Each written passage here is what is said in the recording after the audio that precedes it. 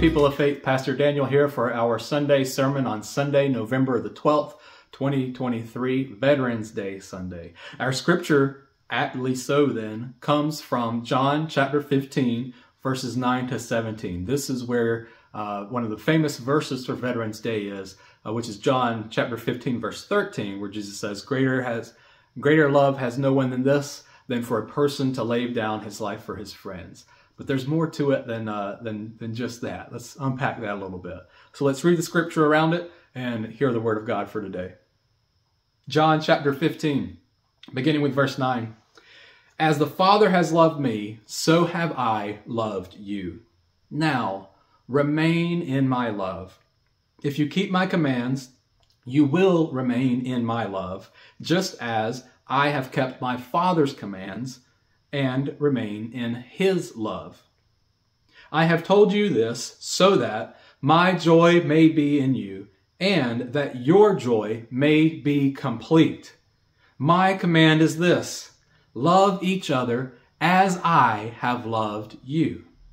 Greater love has no one than this to lay down one's life for one's friends. You are my friends if you do what I command. I no longer call you servants because a servant does not know his master's business. Instead, I have called you friends. 4. Everything that I learned from my Father, I have made known to you. You did not choose me, but I chose you and appointed you so that you might go and bear fruit. Fruit that will last and so that whatever you ask in my name, the Father will give you. This is my command. Love each other. This is the word of God for us, the people of God. Thanks be to God. Let us pray. Lord, we thank you so much for your word, your word who is Jesus the Christ. We give you thanks so much for your word who is the Holy Spirit. Lord, we give you thanks so much for your word. That is the sharing of the faith. And Lord, we give you thanks for the veterans who have shared the faith with us by their actions, by laying down their own lives, and for the Christian veterans, Lord, who have shared the faith with us by their service, by their teaching, by their example. Lord, we give you th- thanks so much for your word. That is the holy scriptures that we have read before us. We pray, O oh God, that as we speak now, and as we listen now, that it may all come from you, O Lord, for you are our rock and our Redeemer. We pray this, Jesus, in your name. Amen and amen. If you, uh, you know me, uh, as you get to know me, you know that I love contemporary Christian music. I've always loved contemporary Christian music, even before my BC days, before Christ. Uh, I loved contemporary Christian music. I didn't necessarily love the church thing, wasn't so sure about Jesus back then, but I still liked that music. Now, don't get me wrong, I, I love the classics. My dad raised me up on the Eagles. I'm a big Eagles fan. I think they're one of uh, one of the greatest bands of all time. I, I love the Eagles, uh, but I just love contemporary Christian music. And I have a friend from Newberry, uh, where I served. Newberry's a county in South Carolina. I served there for a couple of years as a pastor, and uh, and I have a friend there who sings in her church's praise band, but she does not like contemporary Christian music. Uh, she just says, "Here I am, Lord, use me how you will," and so she sings in her church's contemporary praise band, even though she prefers traditional uh, hymns. I love traditional hymns too. I just like contemporary music more. It's how my soul worships. So she likes to kind of pick on contemporary music, and she says that those contemporary Christian songs are just 7-Elevens. I don't know if you've heard this before, but you sing the same seven words 11 times in a row. Well, perhaps one of the originals of that is called Open the Eyes of My Heart, Lord. It really is one of those where you sing the same thing over and over again. You sing, Open the eyes of my heart, Lord. Open the eyes of my heart. I want to see you. I want to see you. And you sing that over and over and over until finally you get to the bridge of the song, the part of the song where really we get an answer as to why this person is praying for the Lord to open their hearts. Why should you sing this? Why should you pray, Lord, open the eyes of my heart? There's a reason, he says, to see you high and lifted up, shining in the light of your glory. He says, pour out your fire and love as we sing power and love, excuse me, as we sing holy, holy, holy. It could be fire though, by the way. Uh, Holy Spirit often shows up in fire, which is pretty powerful. So you got this song, this original 7-Eleven, um, high and lifted up, pouring, uh, shining the light of your glory. And uh, that's the prayer. And I'm going to come back to that at the end of the service. Um, just to, that's the point of the service is, is see Jesus high and lifted up and, and how he does that and, and how we can do that too. Receive that and be that maybe for other people. Be lifted up by others and lift others up when that time comes. I don't know if you've ever uh, been a teacher in your life, whether you've taught Sunday school, whether you've taught in school, but if you've been a parent, you've been a teacher. You've taught your kids the good things, hopefully, and the bad things, unfortunately. It's kind of inevitable. You, you can't really help but uh, if you're teaching somebody, living with somebody like that, you're, you're teaching them. And uh, there's all kinds of ways we can be teachers. But I, I bring up this thing about teachers because this is what Jesus is. He says to his disciples here, I no longer call you students, but I call you friends. There's a popular Star Wars series right now. I think it's called Ahsoka. I'll probably just ruin that. Maybe it's Ahsoka. I'm not sure. Uh, but in this new series, it's on Disney Plus. The kind of main plot line in it is there's this Jedi, and if you know anything about Star Wars, you know that Jedi are these um, powerful people who kind of help influence good. So there's this Jedi who did have a student that she was teaching this person to be a Jedi too, and they had this falling out. And so part of the series is this former student and this former teacher uh, trying to reconcile that.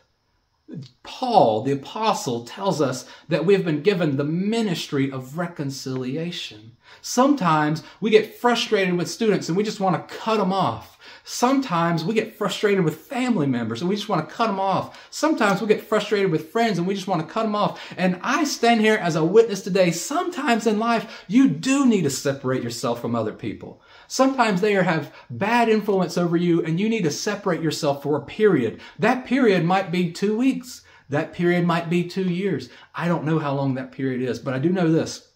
If you are a person who is a Christian with a heart after God, you need to be praying about the relationships in your life that are not reconciled. Again, Paul says that we have been given the ministry of reconciliation. That means that we've got a duty to reconcile ourselves with God and ourselves with others, and to also encourage other people to be reconciled to God and to be reconciled with other people in their lives. So, Jesus, the teacher, says to his disciples, You're no longer my students, but I call you my friends. And he says this because he says, I have taught you everything that I've learned from the Father. I have made it known to you. And I don't know if you caught on to this. There's this, there's, there's a refrain that Jesus keeps going back to. And it's not just here in verses 17 to 19, starts all the way back really and uh, at the beginning of the chapter. Actually, it goes back further than that. It goes back to John chapter 13. Actually, it goes back further than that. It goes all the way back to John chapter 1. And wait a moment, still there's more. It goes forward too. John tells us plainly why he wrote his book.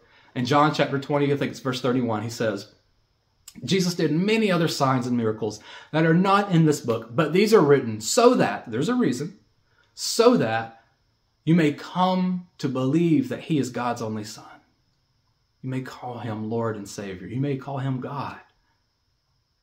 Jesus, from the very beginning to the very end, preaches this. This is the refrain love. In this scripture here, over and over, Jesus says, This is my command love one another. Just a couple chapters prior to this, though it was in the same context, from John chapter 13 to John chapter 17, this is just Jesus talking with his disciples. It's not a bunch of different scenes. We're not going to a different scene. This is one scene. Jesus has washed his disciples' feet. He has instituted communion. And he now is talking to them, teaching them before Judas comes back to betray him, handing him over, and he would go to die on the cross for their sins. He washed their feet, serving them. He would sacrifice himself for them. And here, he has completed his teaching for them. As he says at the beginning of this conversation with them, I give you a new commandment Love one another as I have loved you. Here, we read it in our scripture here. This is my command. Love each other as I have loved you. He finishes this part up again. This is my command. Love each other. Jesus says, you are no longer my students because I have taught you the way, and the way is to love each other. Jesus says, I am no longer your master alone, and you are no longer my slave alone because you know the master's plan. Love each other. What does that look like? He tells us here the greatest way to show love is to lay down your life for your friends. Now, there's a bunch of different ways we can do that. We can actually, as many in our military have, thanks be to God for the freedoms we have, given their lives for others. Or in your day to day life, you can still lay down your life for your friends. You can do things for other people.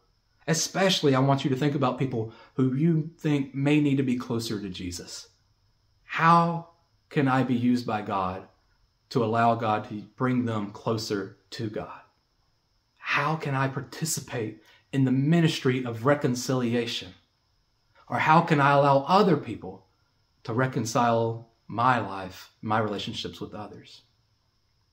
This scripture comes right after one of the famous examples Jesus uses as teaching, as he says, I am the vine, you are the branches. That is verses 1 through 8 here in uh, John chapter 15, verses 1 through 8 is Jesus giving that example. I'm the vine, you are the branches. We pick up right after that. That's why he says, uh, If you love me, you will keep my commandments. Remain in me as I remain in my Father. That remain, that's the abiding. A lot of preachers preach on that and they say, Abide in me. Well, I want to read the first couple of verses there. Jesus says in John 15, I am the true vine, my Father is the gardener. He cuts off every branch in me that bears no fruit, while every branch that does bear fruit, he prunes so that it will be even more fruitful.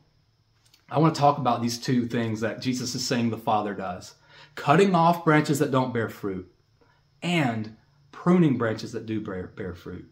I don't know about you all, but boy, this last year certainly has seemed like um, like a pruning season for me. And, uh, and I know for our church, for people of faith, and maybe even for you, maybe you're not associated with our church, but you watch anyway. Maybe this has been a season for you, or maybe you can look back on a time in your life and you say, "Man, that was a that was a pruning season for me." Pruning seasons can be hard. About this time last year, Summer and I were living in this house near Augusta, Georgia, and there was this rose bush that kept pricking me every time I would do yard work, and it was really getting aggravated. So I decided I was going to cut that thing down. I cut that thing back so much, I thought there's no way this thing's coming back anytime soon, so I'm good, I don't have to deal with it. And I'll be dog if that thing, come spring, was blooming more fuller and thicker than it had before.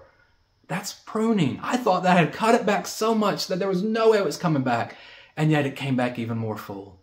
Sometimes we go through these pruning seasons, just like this year, and you have times that you feel like there's no way I'm coming back from this, or there's there's no way I see an end in sight from this, and yet here we are, people of faith, seeing God give a double portion of what we had before. God is absolutely blessing the church, and He absolutely blesses us. Pruning is part of life. We have to sometimes cut back in our lives to allow room for God to work, for allow room to, for God to show us how He's working, to look back and see, okay, God, there you are, and here's where you're calling me to be, and here's who you're calling me to do, who you're calling me to be, where you're calling me to be at and do things, what you're calling me to do. We're called by God to be Christians. Sometimes that means we get pruned. I want to talk about that word just a little bit more. That word in Greek is where we get the, the English word cathartic. And I don't know if you've used that word in your daily language or not, but sometimes people uh, can get cathartic as if uh, they're getting all the all the poison out of them if they're sick. Sometimes people, uh, and, and, you probably don't do this, but I know somebody who does. Uh, some people, not an individual. Sometimes people will have something bad happen, and instead of speaking on it right now, they just hold it in and then something else bad happens and they, they hold it in, and then something else bad happens and they hold it in, and then finally they say, you know what, I've had enough. You've done this and you've done this and you've done this and you've done this. And the person's like, where's this coming from? Well, it's because they've held all that in. And so they're finally getting it all out. That's cathartic. It's not healthy to do it in that way. It's healthy to get things out, but not necessarily in that way. But that's what this pruning is. It's, it's getting all the poisons out, getting everything out so that, in fact, the branch may bear more fruit. The rose may come back blooming better than ever before. And then I want to talk about this other word here the word that is used and translated as cut off. That Greek word is eros, and it can also mean lifted up. It could also mean lifted up. So it could be that, and, and I'm not saying that this is wrong. I'm, I believe this in in part. And if you if you continually resist God, God's going to allow your free will to have its way. If you continually say, "Yeah, I'm a Christian," but you never show any fruit, you never point people to Jesus, I think Jesus is going to say, "Where's your fruit, bro? Where are you at, sis? Are you sure?" If God loves us, he gives us free will and he lets us have our way. And if we have our way, God honors that. But that God wants us to live for him. He wants us to bear fruit. And how do we bear fruit? Love one another. Again, that's the that's the message. Love one another. In such a way, the greatest love, lay down your life for others. We can do that at the end of times of our lives when we actually die for somebody. We can do that every single day as we do something for somebody else, showing them the love, grace, and mercy of Jesus. This is the message. This is why we're friends of Jesus now, no longer just slaves, but we're also friends of Jesus. Now, this word here, eros, it could be lifted up. It could be cut off. And, and so we should be wary of that message. We should say, okay, I don't want to be cut off from Jesus, so I'm going to seek to share his love. We should do that not, by the way, out of a, a place of fear. We should just say, thank you, Jesus, for saving my life. Now I want to go and share your message of salvation with others. But I digress. Eros could be lifted up. It could be lifted up. Not cut off, but high and lifted up. This is why this is important. I've had times in my life, even within the last year, that I felt like, God, you have cut me off.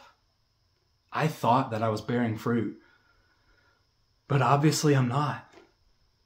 I had a night in my life just this year where I thought to myself, man, I'm really not bearing any fruit. I'm, a firm believer that there's gifts of the Spirit and the Bible tells us that one of the gifts of the Spirit is faith. While I believe wholeheartedly, I do know there are people, I've, I've been their pastor, and some of you watching this video as part of the church or not part of the church, you are one of these people. You have the gift of faith. And that is a wonderful gift because you never doubt anything. You know that God is, is for you. You have that positivity. I, my gift of my gift is, is, is preaching, I suppose, building relationships with people. And I have strong faith, but I doubt sometimes and I wrestle with God. And that's okay. If you're like that and you wrestle with God, that's okay. God can handle it. Read the book of Psalms over and over again. It's people wrestling with God. So I'm wrestling with God earlier this year. And I'm thinking, God, you've cut me off. I thought that I was bearing fruit for you, but obviously I'm not. So I was in a little bad, hard, low place. God brought me through that as only He can. And in preparing for my sermon this week, I looked back at notes at when I preached this text last time, and I saw this word, eros. It could be cut off. But if in the midst of times in life when we feel like we're cut off, in the midst of times in life when we feel like we're down and in the dumps, if we look to God, we might just find that eros can also mean lifted up.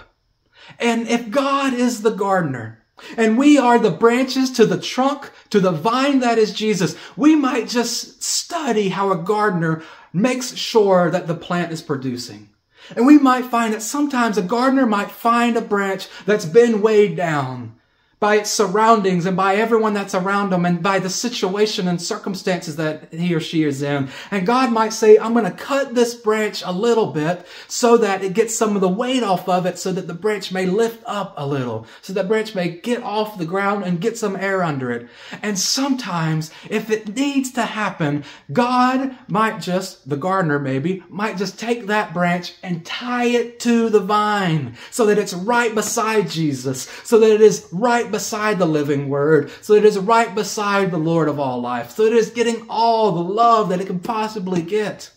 And sometimes God, as the gardener, might take that vine, tie it close enough to the branch, to take the branch, tie it close enough to the vine where it's right there next to Jesus, but also a little far away so that wind can come and blow on it and blow away any poisons, any diseases, any sickness, any evil that has been attached to that branch. So that branch can finally start to heal. So the branch can finally start to renew itself.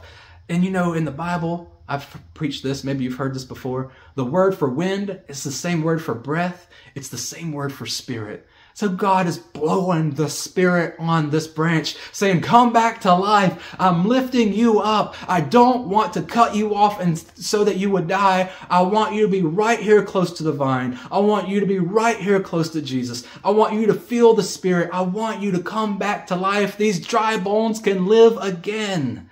Come back to life. Sometimes we find ourselves in the situation where we think God has cut us off. And if we look to God, we might just find it's not that we've been cut off, but it's that He is lifting us up, trying to get us to come back to Him, taking away all the weight that's weighing us down, putting us just us and Jesus so that we can dig into His Word, pray to Him, talk to Him, live for Him. So maybe you're in one of those two situations. Where in this last year you felt like you've been through a pruning season and you are seeing God bloom. Maybe you're going through pruning right now. I assure you, if you look to God, you will see yourself bloom. Maybe. Maybe you felt like you've been cut off. And I assure you, God never stops seeking you. He never stops. If you think you've been cut off, look to God and find you haven't been cut off, you've been lifted up. But maybe you've been right there by the branch the whole time. Maybe you've got such great faith. You never doubt. You never ponder for a second, and you've just been hanging out by the branch the whole time. If that's you, Jesus tells us we are his friends because we know the master plan. You know the master plan is to point other people to Jesus. We've been given the ministry of reconciliation. If there's somebody in your life who you know that person may feel like they're cut off, that person may feel like they're going through pruning, that person needs Jesus. Well, sometimes in order for the gardener to allow a branch to be tied to the vine, the gardener needs to take one of the branches that are stuck to the vine and tie it apart from the vine a little bit so it can breathe a little, feel the spirit a little, and also so that the other vine can get closer to the branch. We need to realize sometimes there's somebody who needs Jesus. How can we, therefore, just like Jesus did, humble ourselves and lift them up so that they can be closer to Jesus, so that they can be closer to the vine? Because we all are branches held together by the vine. We're not in this by ourselves. We have other branches. We have other Christians attached to the vine doing this ministry of reconciliation together. So I want you to ponder today, tomorrow, this week. Where are you at? Are you one of those who's been pruned and you see the blooms? Are you one of those who you're being pruned right now? Are you one of those who you just feel like God has cut you off? I assure you he hasn't. Look to him. It may be that you've been lifted up rather than cut out. Maybe you've been stuck to the tree and you turn around for the first time and you realize, oh, there are other people. who need to be attached to the vine, I'm going to reach out and bring them to Jesus too. We all find ourselves in different positions. I want you to pray about where you are so that you can see where God has got you best fitted to lay your life down for your friends so that all may come to know Jesus. And I also want you to think, as I close out in prayer, I'm going to pause for a moment. And I want you to think about those veterans who've gone before us, those veterans of the faith who have passed the faith on to you, who has shown you freedom in Christ, who has shown you love of Jesus. And how can you pass that on to others? How can you be a veteran of the faith too and share Jesus with others? Let's pray together.